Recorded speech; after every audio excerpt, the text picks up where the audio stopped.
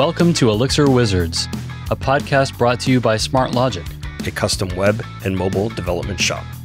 This is season 13, The Creators Lab, where we're talking to innovators who are expanding what's possible with Elixir. From groundbreaking projects to tools shaping the future with our favorite technology. It may seem like magic, but it's really the result of talent and lots and lots of hard work. Hey everyone, I'm Owen Bickford, staff engineer at Smart Logic. And I'm Charles Suggs, developer at Smart Logic. So we're your hosts for today's episode, and for episode six, we're joined by Stephen Solka, CTO at Standd.io. That's Standd with two D's. Welcome everybody. How are you, Stephen? Doing great. I'm really happy to be here. Great. Happy to have you here. Yes. We'll start talking a little bit about Standd here in a moment, but just as an introduction to the community, do you want to tell us just a little bit about yourself, where you come from? Yeah, uh, I've lived around the DC area for last 15, 20 years, been bouncing around the startup scene here. Worked at a lot of startups in the fintech space, self taught. So I, I, dropped out of college. So I went down that journey. Yeah. And, and, and I joined uh, Standd about two years ago. Interesting. So another, I, I say semi self taught, like I learned from a lot of people on the internet, but did not pay to go to, to classes. After the first semester, I just I dropped out as well. Uh, it'd be interesting to talk about that for a moment because a large part of the community, engineering community broadly, comes from academics. What was your journey from college dropout to writing code for a living? So my parents were programmers, right? So I had a lot of exposure as a kid, and they were teaching me HTML and like C, and so I was like playing with it. And then I never really did great with academics, memorizing and tests and stuff like that. But I attempted to go to college. But when I'm like in these like late classes, I'm like, oh, why am I here? This is boring. You know, I'm learning all these like fundamentals. I could just be doing this thing. Right. You know, at the time, I'm a little gray at this point, right? There really wasn't code academies or, or anything like that. Right. So I just dropped out and, and then just started applying for jobs, as many as I could, I could get a hold of, right? Just hundreds of jobs a day and looking at the, the job recs, they were just like, must have a college degree. And I was like, doesn't matter. And I just like, it kept applying until eventually someone gave me a chance. And I'd say that first year was pretty rough, right? Trying to like, you know, keep employed through that all. But, you know, the longer it went, the less it mattered. And, and now it's, it's something that rarely ever comes up. And I'd say the, the only really impact I've had on my career is that you're not going to stick me in front of a whiteboard and have me write a bubble sort, right? And have it go well, right? I've just never had those algorithms burned into my brain. But yeah, that's the yeah, that's that's the main impact. I I also didn't come from a, an academic background when it comes to, to software, and I I did finish college, but for journalism. Hmm. I'm curious, what tools did you find as someone who was learning on your own that set yourself up for success to the point that now you're starting companies and are making a splash and such? Yeah. So I'd say the the main thing was so the first couple jobs were kind of a flop, right? As you go, I really didn't know what I was doing. But then eventually I landed at a defense contractor at the Department of Defense and I worked for the Army Reserves.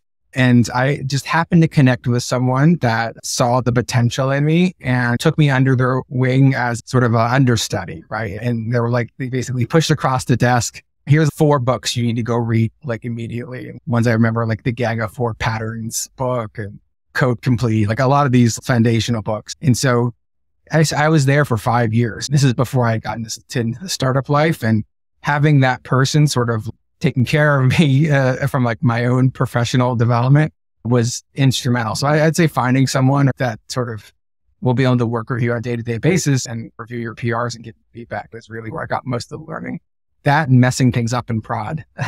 I tell engineers that the fastest way you're going to learn is to fail.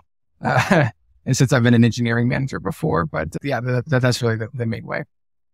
Someday, sometime, somewhere, I will mess something up in prod, but I never wow. make mistakes. Wow. So. Just putting that uh-huh. out there into the world. That'll never All come right. back to bite me. So, okay, that's great. So we know who Stephen Solka is now. Great. I'm curious. That takes us up to Standd. Like, what is Standd for anyone who's not at Standd? and like, what's the problem that you're trying to solve there?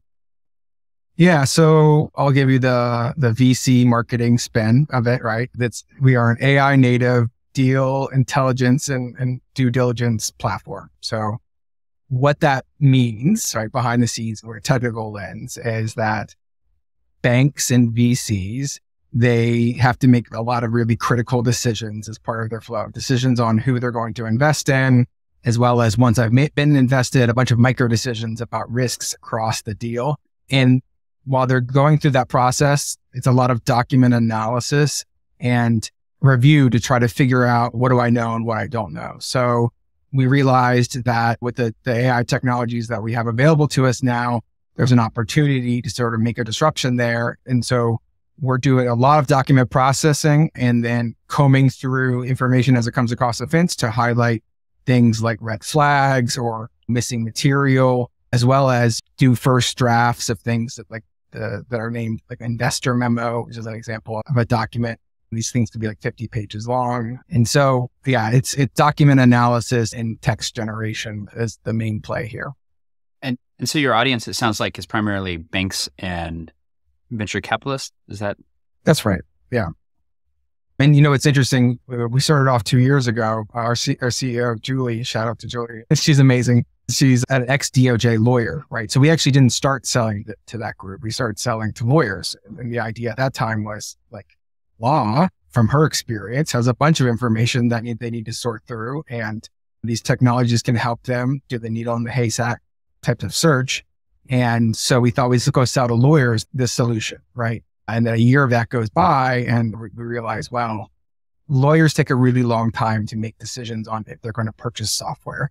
And in a pre-seed stage company, we don't have that time. So eventually we found a group of people that had the money to pay and were interested in and, and had a similar pain point. And that's how we ended up in this.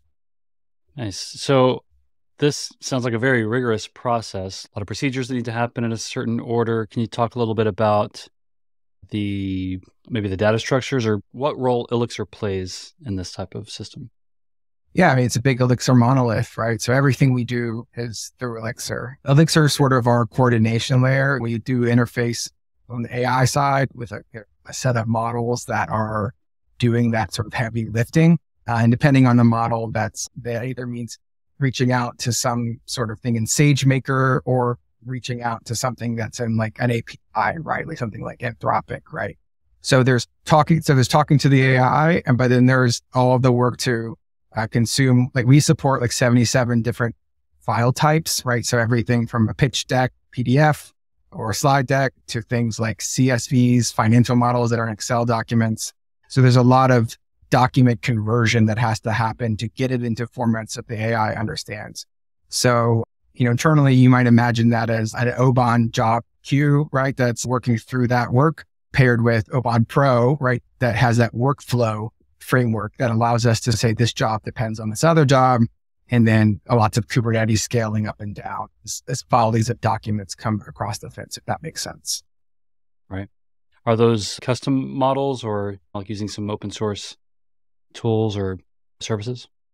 I mean, two years of AI development, uh, it has changed so much. Right now, the answer is we are using a, set of open source models as one of which is fine tuned on a public data set. We don't fine tune models on customer data due to the sensitivity of the data.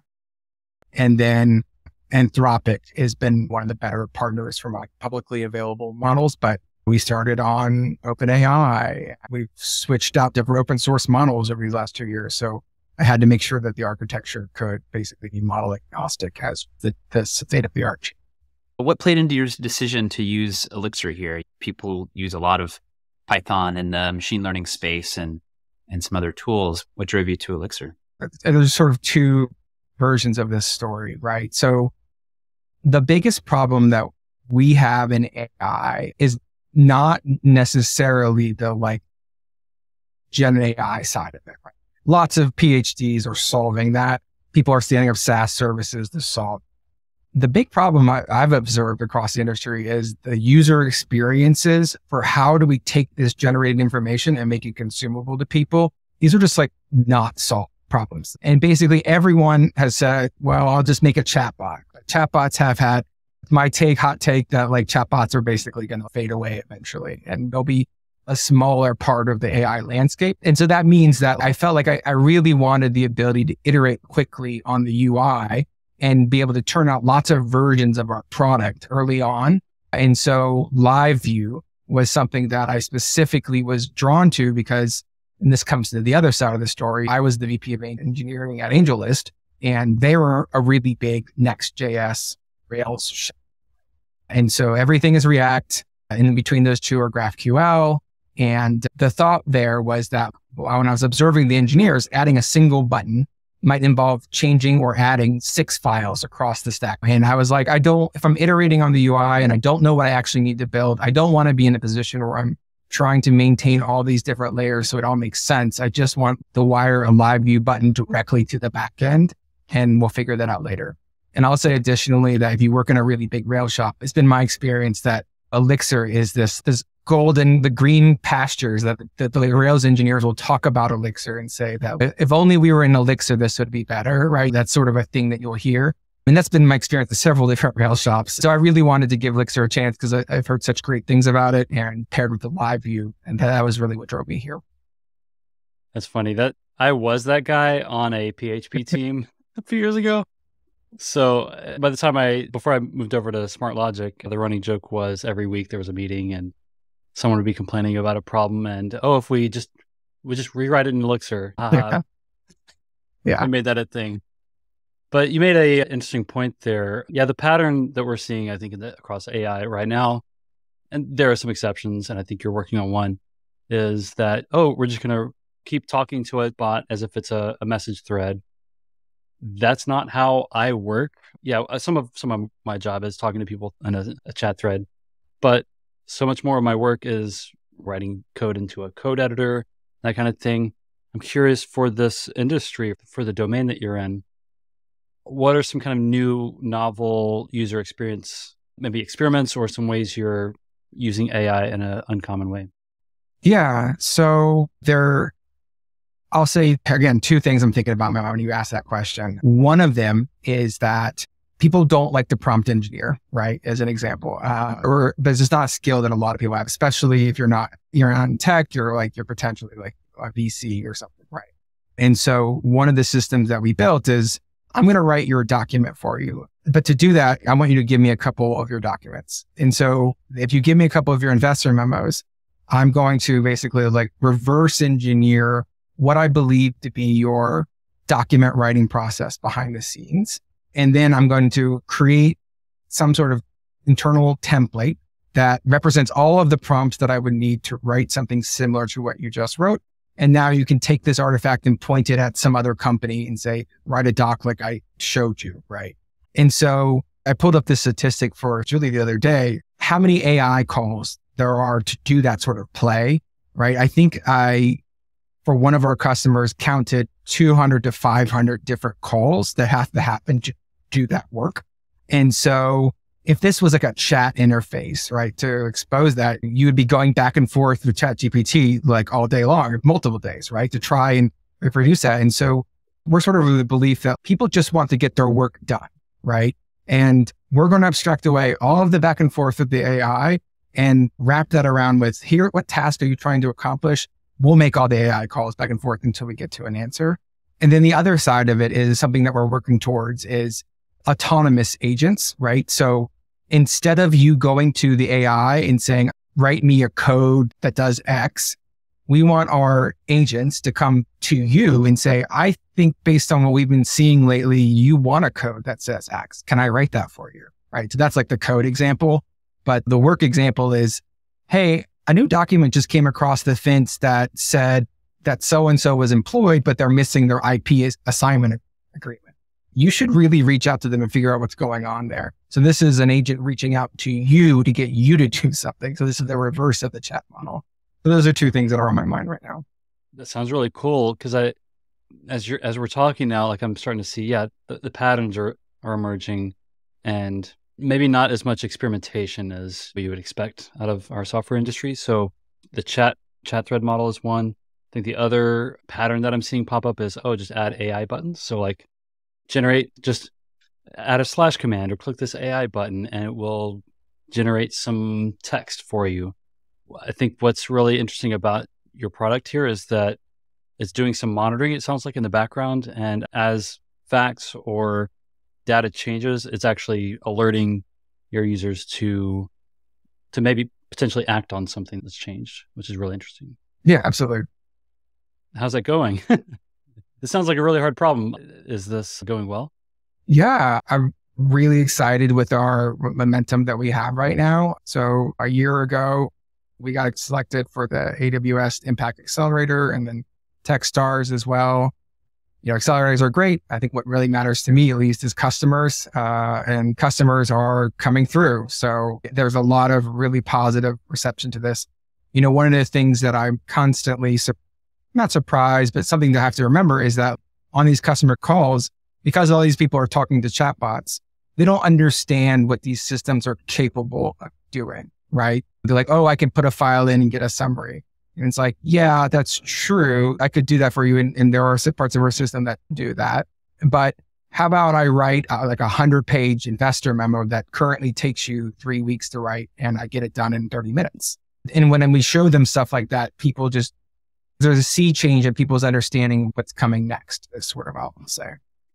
To counteract that, is there, do you do much to try to like educate your users on what's possible and how to use the tool effectively? Or does it guide you through that based on its monitoring and trying to be proactive in terms of what it's bringing to you?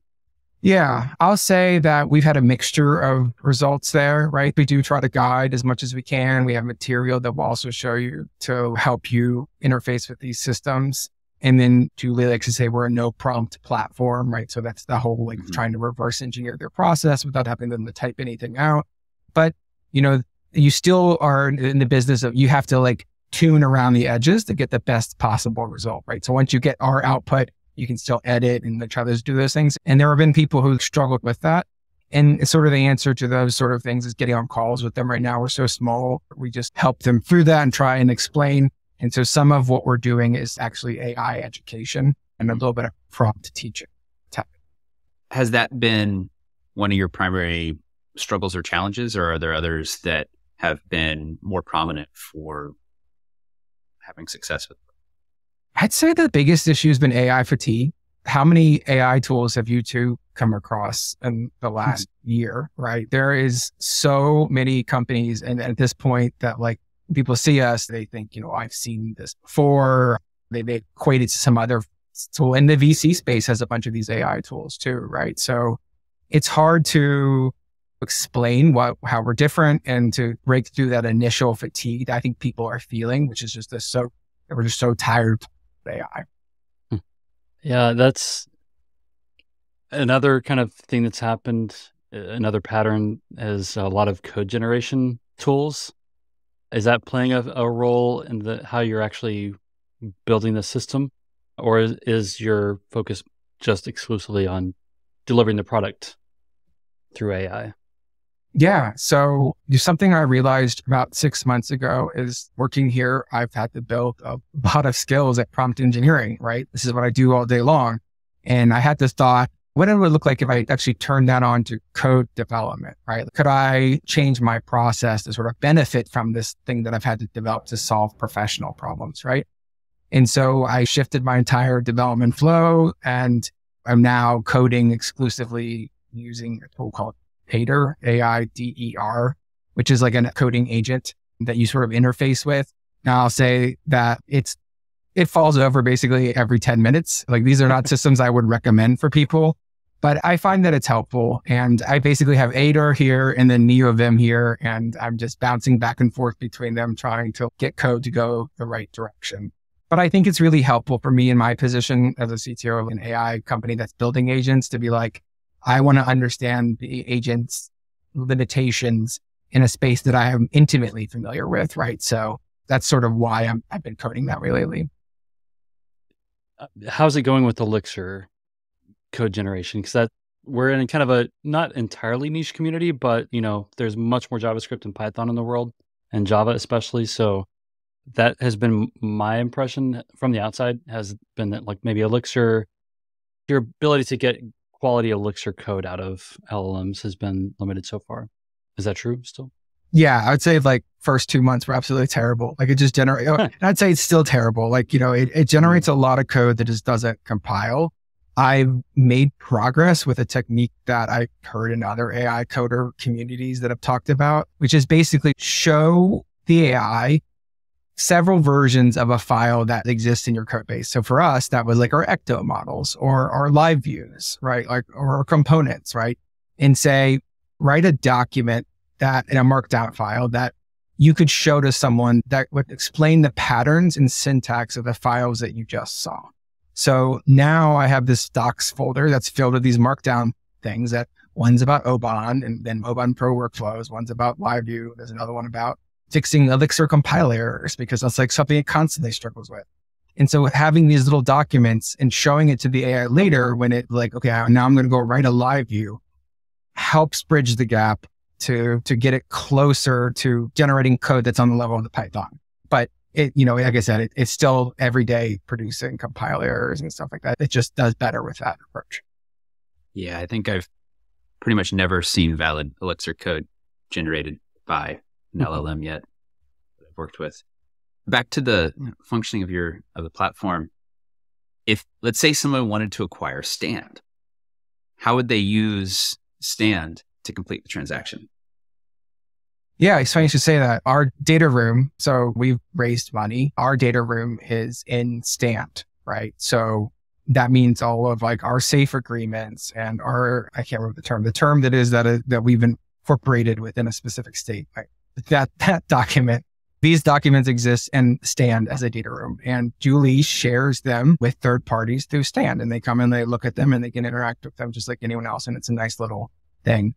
But from a lens of acquiring a company, there's a lot of due diligence that's involved in that. And so we've built a system that you can give us your due diligence checklist. So this is like a big Excel doc that has a bunch of questions that have to get answered before a deal can close. And we do that sort of reverse engineering play on it. And we bring it in the Standd. And now you have a giant checklist that's every question you need to close the deal. And those questions on the right will tell you based on the data room you gave us, which ones you have the ability to answer and which ones you need to go out and talk to a founder about. And for the ones that it can answer, it will tell you like how confident it is in those answers. So there's sort of a workflow tool that happens in there and you go through there and each one of those has this been completed or not state and that you have interface with. But we call that our due diligence checklist. And so there's some banker somewhere that's working through that list and making sure that we have all of the different pieces to make sure that our deal is good. And then one day that deal closes. We're primarily focused on that information analysis and process improvement side of that. There's nothing that really currently happens in our system. Like when the deal closes, like confetti just shoot out and emails go off, but we're helping them through their day to day.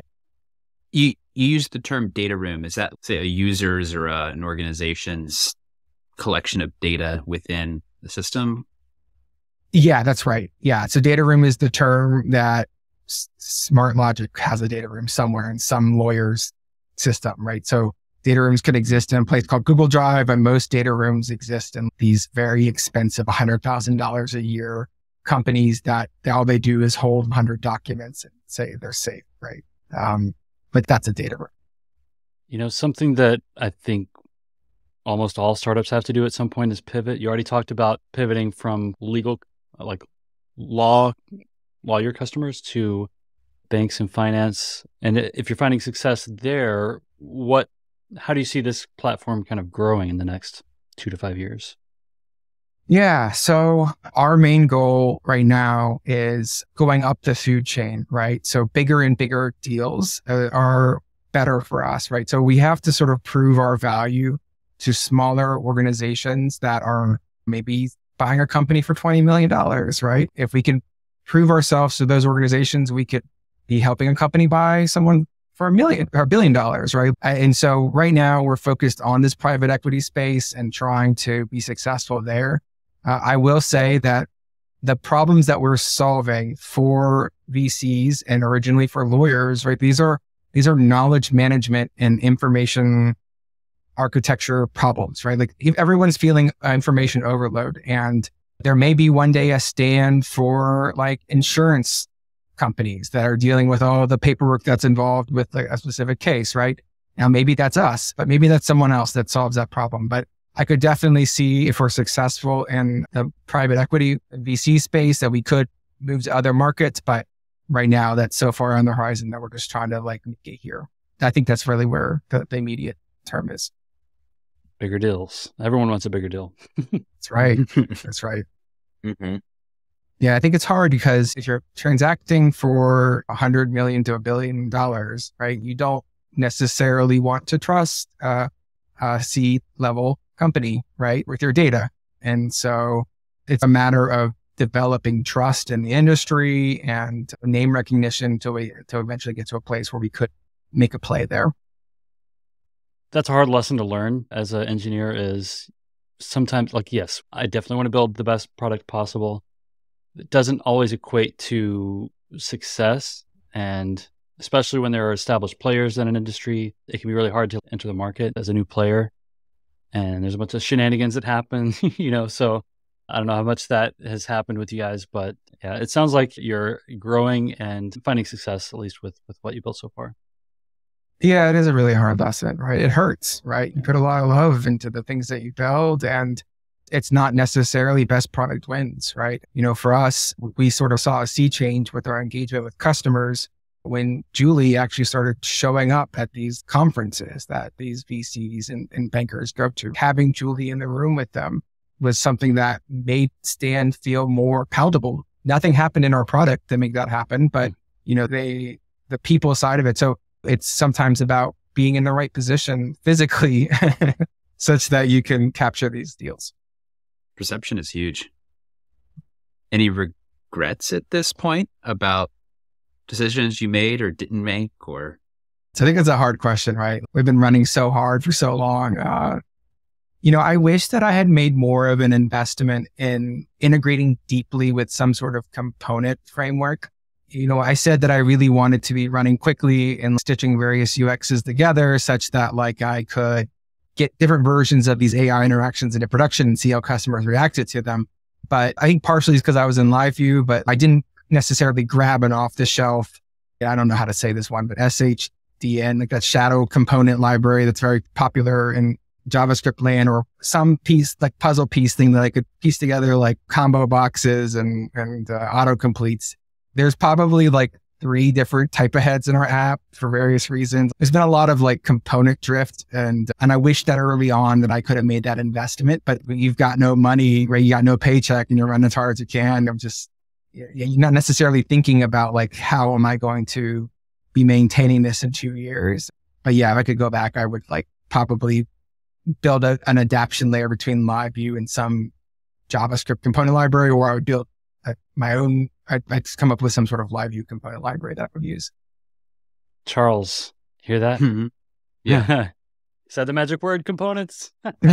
so, yeah, that's well, you're singing to the choir here. Charles and I both went to Elixir ElixirConf 2024, which was super fun in Orlando, and did a bunch of work over the summer building kind of like a prototype component library. Not something we intend to like share publicly, but something we would potentially use internally on client projects to get up to speed and not have to spend several weeks or you know days or weeks building out things that we always know we need, right? So, mm-hmm. and since then, I, I noticed that there's been an uptick in component frameworks that are popping up in the Elixir space, whether they're specifically geared towards LiveView or Phoenix more generally. We're starting to see this is something I think that maybe a year ago we were all a little bit feeling the the pain of, yeah, we can build it, right? We love building things, but people who are coming, who are seeing live view and Phoenix from the outside and very interested. A lot of times it's a hard sell if there's not a, big set of components just ready to go, right? For all the reasons you were just talking about, you know, consistency It's a dream. and right. so, and even just adapting existing component frameworks like Tailwind, UIKit, and all that kind of stuff. It's a non-trivial amount of time to take what you see in React and Vue code and translate that into live view. Maybe there's a AI agent in the future that will just do that for us. Yeah. I would love that. You know, two years ago when we started, we were doing Elixir then, and I think Surface was around and there was some component stuff in Surface, but Right. I really, there wasn't even like, I know that now that Phoenix has core components, like I saw that got released. So there wasn't much. And, and so it, it meant a lot of building in house, right? And so there's all these components out there that I've, I've, built, and and then for the ones that I just couldn't build, like a, a type ahead, that you know I I tried to marry those with JavaScript, but I, I gotta say, like, I, I love Live View. No regrets on that decision. But every time I have to go into the hooks land and come back, like, that hurts a little bit. It's really wonderful to hear that the Elixir community is also seeing that gap and, and is starting to like iterate on it. Cause I think that will really help new teams like myself that are trying to get companies up off the ground built on a LiveView. Type ahead. Someone build us a typeahead component, right? Yeah. We just need a live component. there you go. Yeah, for sure put it out there for fifty dollars a download. there we go. Right. Yeah. Someone's gonna make some money. yeah, so what's what's the Standd origin story? We we talked about what it is and how it works. Uh before there was Standd, what was the alternative and like why does Standd exist in the first place? Yeah. So I guess there's the people origin story, and then there's the Standd as a tool for VC's origin story, right? So the people origin story is I've been at, I've worked at a lot of startups, and most of them were Series A forward. And so all of the problems that those companies have are like, we need to scale. I'm really sad that graph is not going in the right direction, right? And so these are like people problems and graph problems. But I had never really gone from zero to one. I've never seen what happened before A. And a friend of mine reached out who was working with Julie and said that we really need a CTO. And I met Julie and you know, the rest is history. And so Julie was an ex DOJ lawyer who defended his policies in front of the Supreme Court and for herself, burnt out doing DOJ law, right? And thought, I, I really want to start something. And she kind of become a serial startup entrepreneur at that point and was trying to solve this lawyer problem, which is the information overload. I don't understand all of these different documents or problem. And at that time, I was really into note taking. So I was contributing plugins to Obsidian and Logseq and all these different like tools. Cause I was like, really in, as a VP of engineering at AngelList, I was like taking all these notes about all these different teams and I wanted to understand them all. And so knowledge management was something that was really on my mind at that moment. So it, it caught me in the right moment and I worked to start. From a VC perspective, what they're doing is they hire, they treat as a people problem, right? There isn't tools that do what Standd does.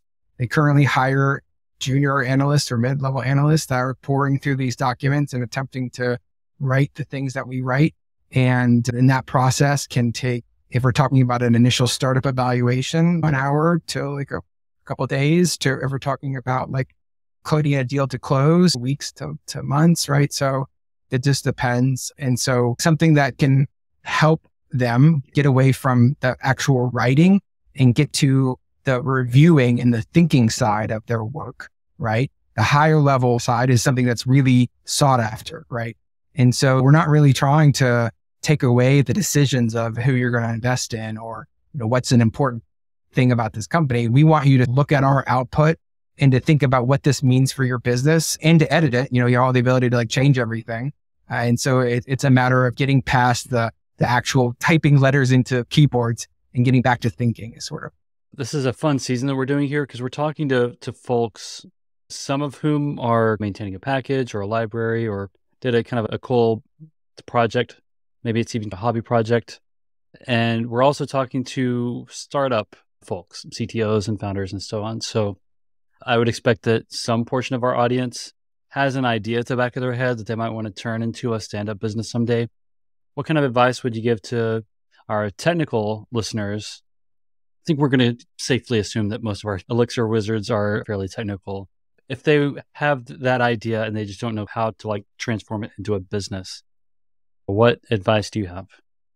Yeah, I'll get some things that come to mind are be careful building too much, right? Like I think that's like the very common advice that we got. Even just putting boxes and lines and putting them in front of customers, like the faster you can get in front of someone who might give you money and say, is this something you would pay for? And get feedback at, at that level, the better off you'll be uh, a very common problem that builders have is they love to build, and right. So the first time a customer sees something is might even be a prototype that's an elixir, right? And at that point, you may have baked in assumptions into your prototype that you're going to end up throwing away. So like basically everything that I wrote for the first year was ephemeral. It's just stuff that just got trashed, right? So you, you have to be aware that sure, build stuff if you want, but it's all going to go in the dumpster because when the customer gives you that feedback or you need to pivot or, or these things. And we used to have the, a clock of how many days since we had some form of pivot. And it was like every other mm-hmm. week, some pivot, right? And, and, so, yeah, be careful building too much. And then I'll say, okay, you have an idea and you actually want to do this full time. You know, I'll say we, we've had a lot of success with accelerators, right? A lot of fundraising is about who you know and then the network effect. And if you're like me, just some random Elixir guy, like you probably don't know a bunch of VCs, right? And so if getting connected into some accelerator, the most well-known one, Y Combinator, there are other ones like Techstars and AWS and Google has one. There's all these accelerators everywhere is sort of an opportunity for you to build your network and to be introduced to people that potentially could be your investors.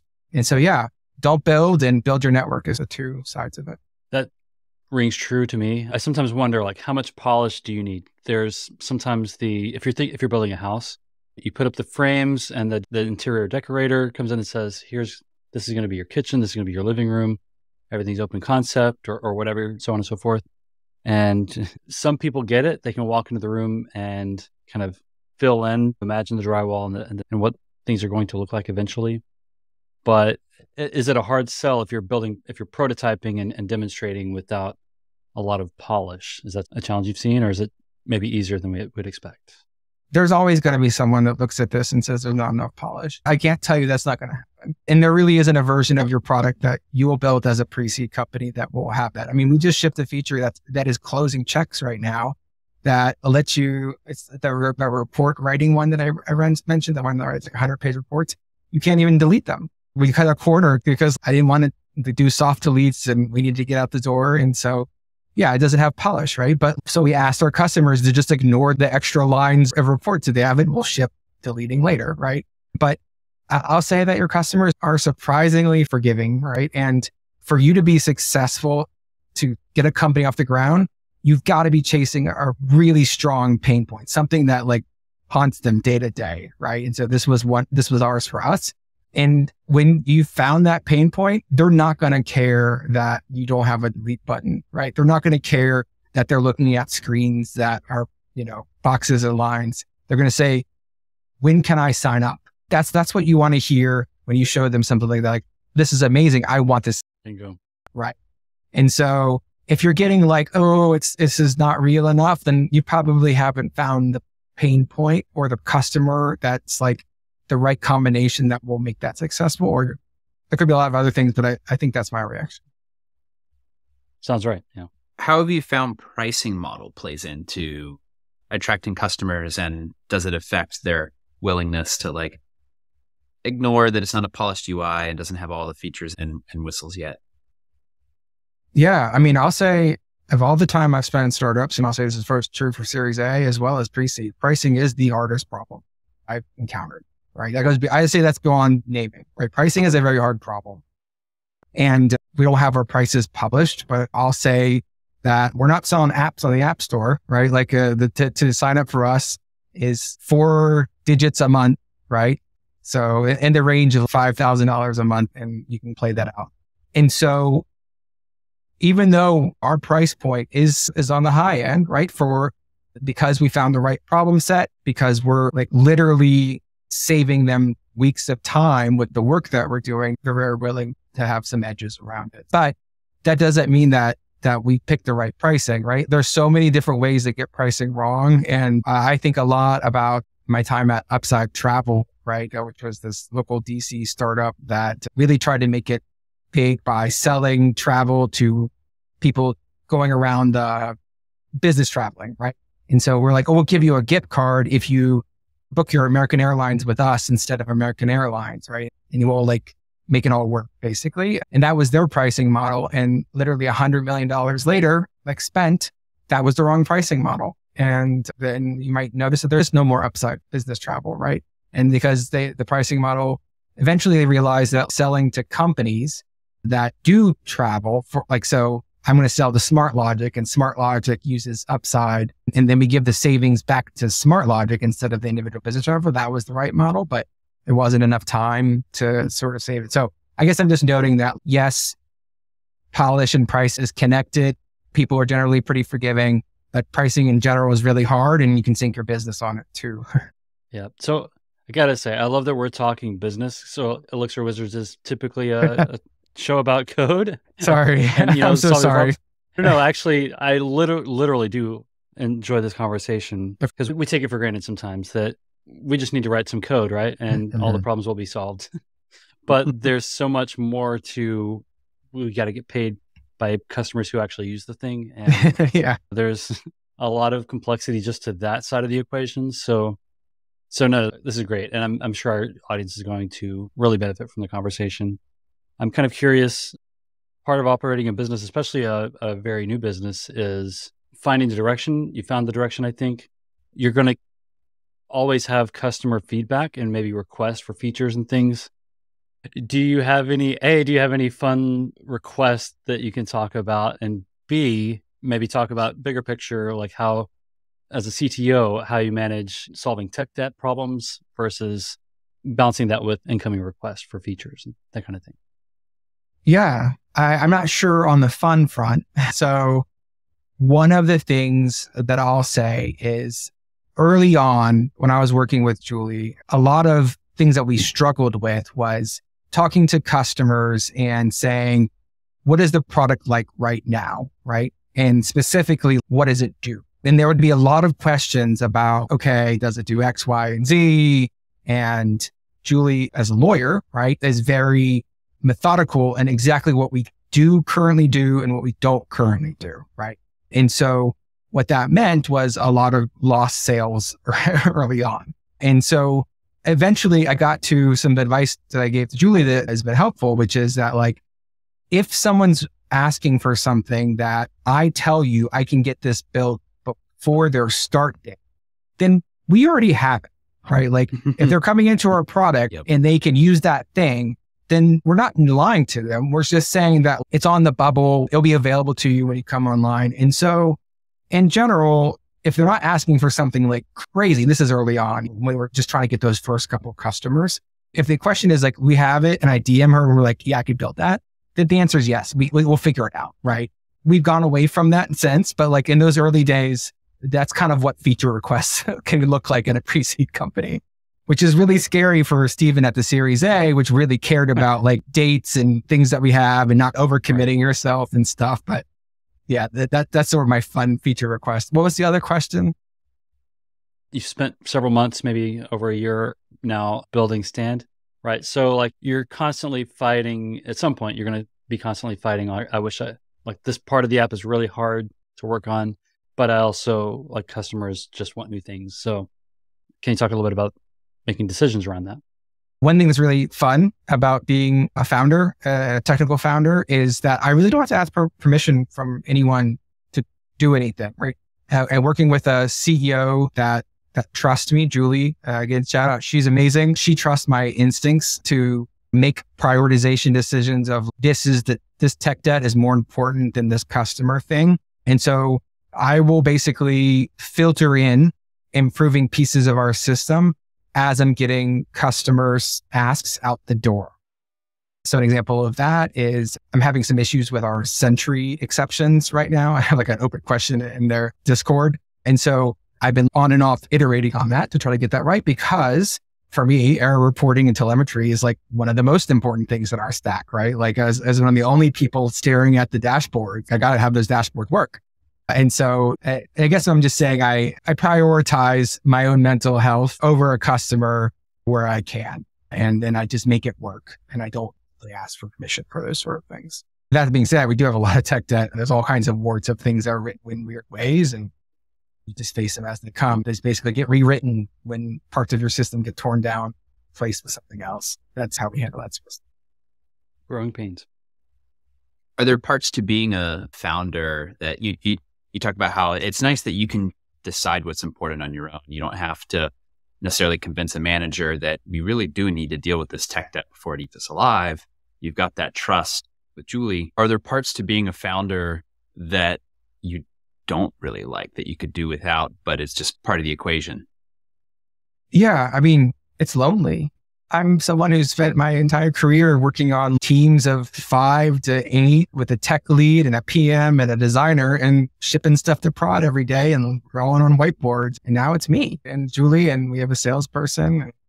Sometimes we'll have technical help, but most of the time it's not. And I don't have someone to review my PRs. I don't have someone to be like, I've been stuck on this docx problem for two days that you know, thankfully right before this call, everything's been solved and docx is amazing now. But like before that, like it was despair. I was like, I don't know how I'm going to fix it. There's no one I can ask. Right. Hmm. Uh, and so there's not a lot of supports out there. So like, you know, uh, today I happen to be at the WeWork. Thankfully, Julie and I were in the same area. And so we co-work once a week and I'm like, Julie, I want you to pretend like you're a technical person. I'm going to talk to you about what I've been facing. And so she, she rubber ducked my woes and we got through it together. But yeah, I guess I just sort of missed the camaraderie there. I think the other side that's been really hard is raising money is just, it's tough work, right? It's totally great when you got, you know, a million customers and everyone's throwing money at you. And your last company was like Palantir or whatever, some big name. But, uh, you know, I, you get told no so many times. And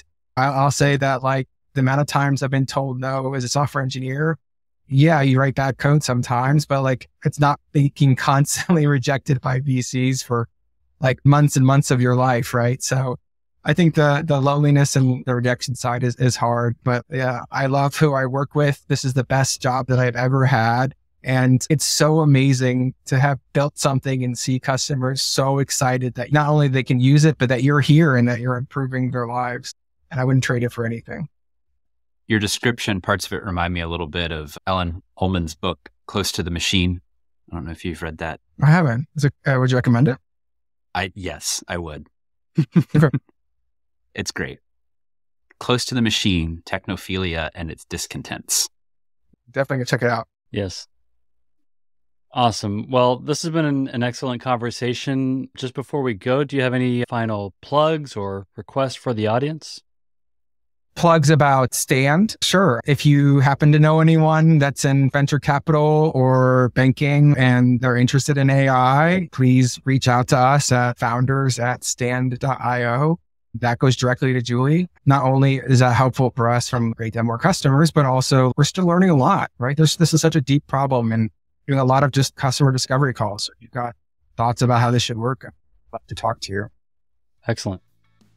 Awesome. Well, thank you so much, Stephen, for joining us on Elixir Wizards. And thank you to everyone who's listening. We will be back next week with more Elixir Wizards. Thank you. Thanks. Great conversation. Yeah. A lot of fun. Elixir Wizards is a production of SmartLogic. You can find us online at smartlogic.io, and we're at smartlogic on Twitter. Don't forget to like, subscribe, and leave a review. This episode was produced and edited by Paloma Pechenek for SmartLogic. Thanks for joining us in the Creators Lab, and we'll see you next week for more stories of innovation with Elixir.